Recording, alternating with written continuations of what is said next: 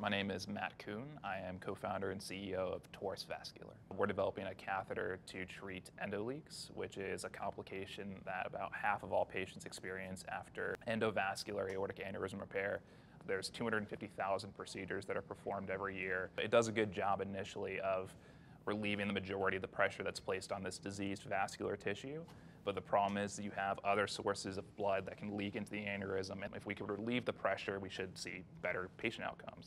Our catheter delivers a shunt or a covered stent in between the aorta and the vena cava to allow these endoleaks that accumulate in aneurysm to flow into a lower pressure blood vessel. Patients that spontaneously are developing what's called an aortocaval fistula. We're draining these endoleaks, and those patients had spectacular long-term outcomes. Mother Nature can do this by accident, and it leads to great outcomes.